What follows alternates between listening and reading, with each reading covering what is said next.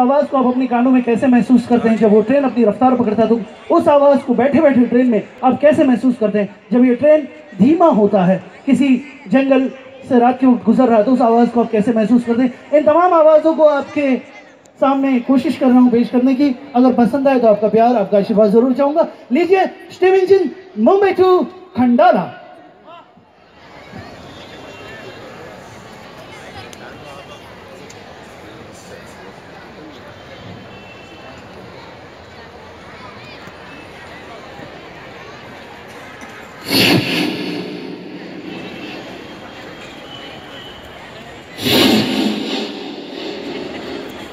Yeah.